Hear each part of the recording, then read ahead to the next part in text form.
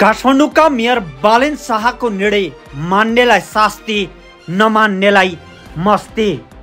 बालेन शाहको चर्चा परिचर्चा यति बेला देश विदेशमा हुने गरेको छ। उनले गर्ने कामहरू होस् या उनले दिएका अभिव्यक्तिहरूले यो भिडियो तपाईँहरूले कुन ठाउँबाट हेर्दै हुनुहुन्छ कृपया कमेन्ट गर्न नभुल्नुहोला।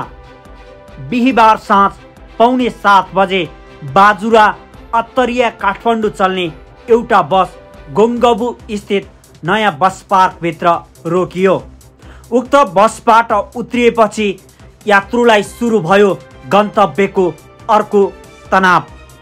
कसैलाई कलङ्की जानु थियो त कसैलाई चबाइल। केही यात्रु त भक्तपुरसम्म जानुपर्ने बताउँदै थिए। बसले काठमाडौँ महानगरपालिकाको निर्णय देखाउँदै पाइक पर्ने ठाउँ भन्दा पनि यात्रुलाई बस पार्कमै झारिदिएपछि उनीहरूको यात्रा झन्झटिलो भएको थियो। त्यति मात्र होइन बस रोकिएको स्थानबाट सामानहरू ट्याक्सीसम्म लैजानको लागि बस पार्कमा निशुल्क ट्रलीको समेत व्यवस्था थिएन। एउटा ट्रली प्रयोग गर्न सयदेखि एक सय पचाससम्म शुल्क तिर्नुपर्ने अवस्था थियो। ट्याक्सी प्रयोग गर्न चाहनेहरूका लागि सार्वजनिक बससम्म पुग्न थप झन्झट छँदै थियो। यस्तै नियति बस पार्क भएर यात्रा गर्ने यात्रुहरूले दैनिक भोग्न बाध्य छन्।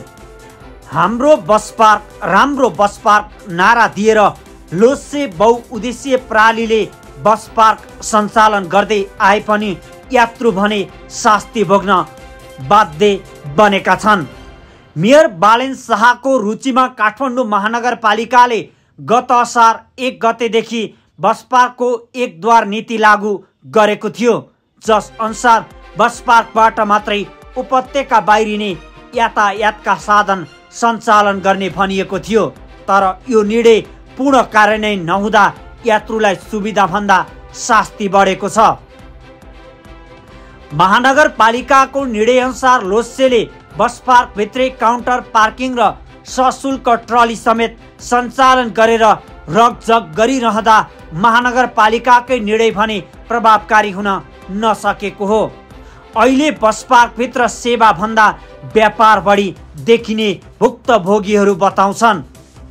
महानगरपालिकाले गरेको निर्णय मान्नेले मानिरहेको र नमान्नेले उल्लङ्घन गरिरहे पनि त्यसको अनुगमन संयन्त्र त के महानगरपालिकाले नै छुट दिइरहेको छ?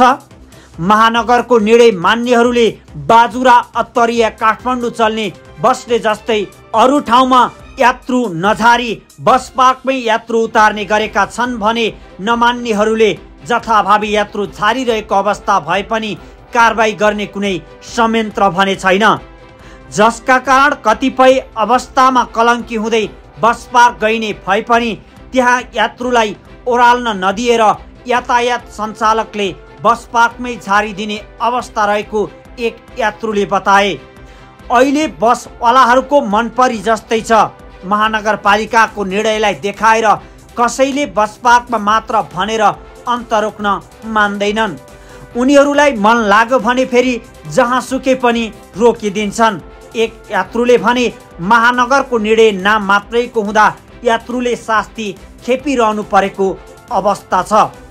यस्तो समस्या लामो दूरीका यातायातका साधनमा धेरै रहेको बताइएको छ।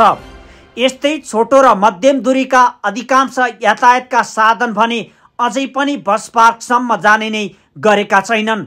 तर उनीहरूले पनि महानगरपालिकालाई देखाउँदै पिक एन्ड ड्रपमा आफू खुसी भने गरिरहेकै छन्। जसको प्रत्यक्ष मारमा यात्रु नै पर्ने गरेका छन्। बालेनको निर्णय यति बेला मान्नेलाई शास्ति र नमान्नेलाई मस्तीको अवस्था बनेको छ। यातायात व्यवसायीले महानगर देखाउँदै आफू अनुकूल यात्रु चढाउने र झार्ने गर्दा त्यसको मारमा यात्रु परेका हुन्। जसले निर्णय साँच्चै मानिरहेका छन् उनीहरूले बस पार्कमै यात्रु झारिदिन्छन्। जसले मानेका छैनन् उनीहरूले पनि आफू खुसी गरिरहेका छन्।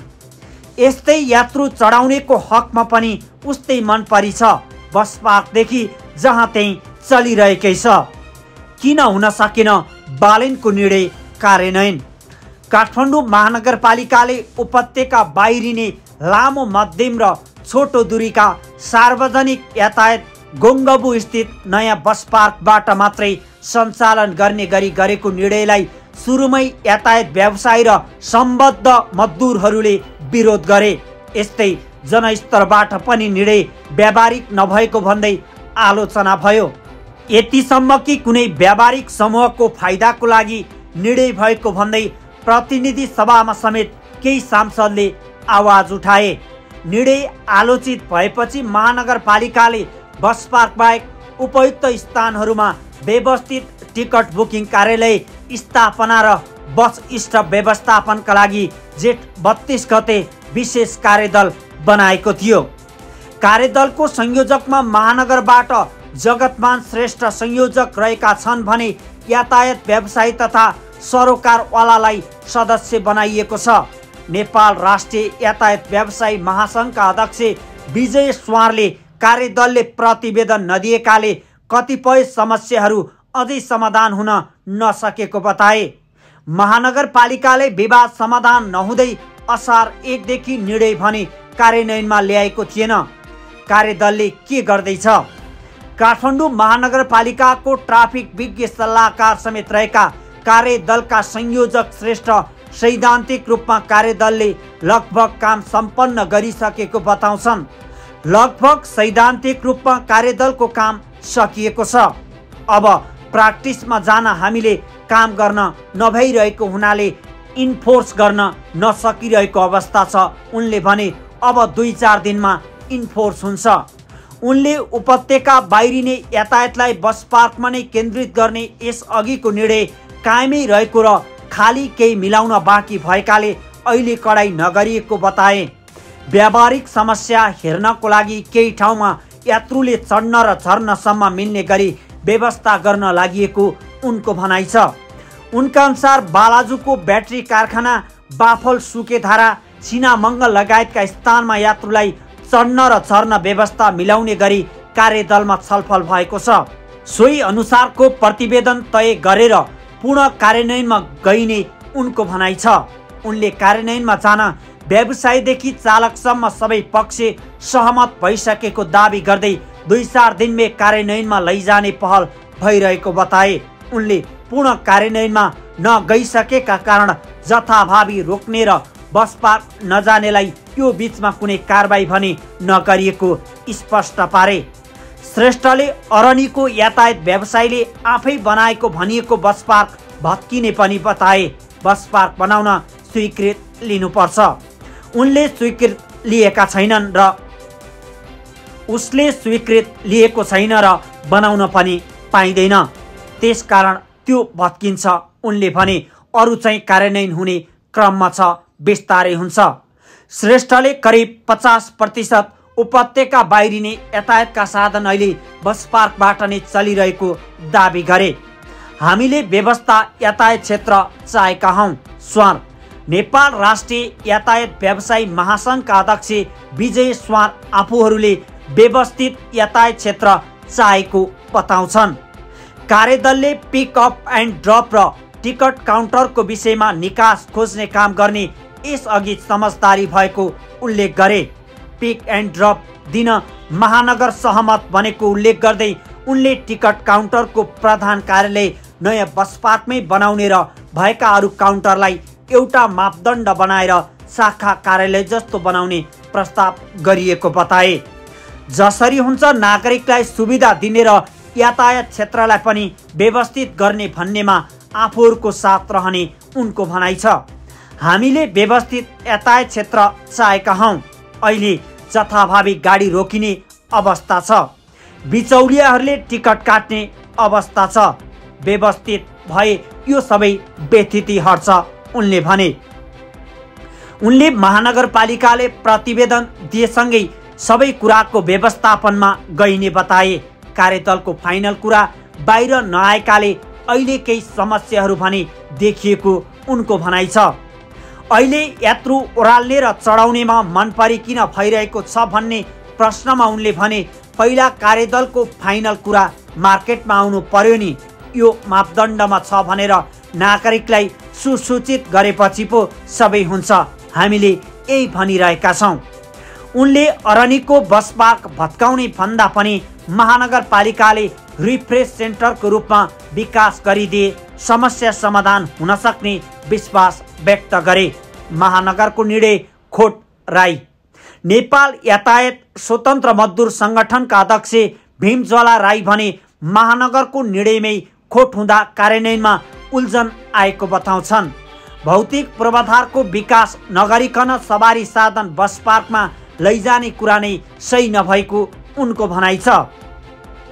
बस पार्कको अहिलेको क्षमता भनेको सात सय पचास सवारी साधन हो तर समग्र सवारी साधन जाँदा करिब पाँच हजार तिन सय सवारी साधन पुग्छन्। उनले भने त्यसो हुँदा भौतिक पूर्वाधार विकास गर्नुपर्ने हुन्छ।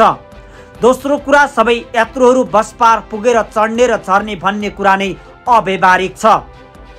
यस्तै तिन सय चालिसको हाराहारीमा रहेको बुकिङ काउन्टर समेतको व्यवस्थापन गर्ने गरी कार्यदल बनाइएको भए पनि कार्यदलले निर्णय दिन ढिलाइ गरेको उनको भनाइ छ।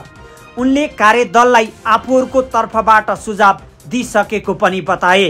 राईले एकद्वार नीति कार्यान्वयन गर्न कतिपय व्यावहारिक स्वार्थको लागि कारण पनि समस्या उत्पन्न भएको बताए।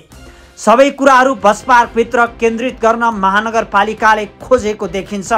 त्यसमा लोसेहरूको पनि इन्ट्रेस्ट होला। कुरा बाजिएको त्यहीँनिर हो उनले भने। एउटा ठेकेदार कम्पनीले मुनाफा मात्रै केन्द्रित हुने भयो। एउटा ठेकेदार कम्पनीले मुनाफामा मात्रै केन्द्रित हुने भयो। हामीले त व्यवस्थापकीय श्रमिक व्यवसायी र पब्लिकको समस्या पनि हेर्नुपर्ने हुन्छ। यद्यपि आफूहरू सबैलाई सहज हुने गरी एकद्वार नीति कार्यान्वयनको प्रतीक्षामा रहेको राईले बताए। यसैबीच बस पार्कको जिम्मा पाएको लोसेले व्यवसायी र यात्रु मैत्री सेवा दिने जिकिर गर्दै आएको छ। लोसेका एआर मेजरर पङ्कज मल्लले भन्नेले जे भने पनि आफूले व्यवसायी र यात्रु मैत्री सुविधा दिने दावी समेत गरेका छन्। यो समाचार हामीले रातो पार्टी डट कमबाट साभार गरेका हौँ। बालेनको निर्णय मान्नेलाई शास्ति नमान्नेलाई मस्ती।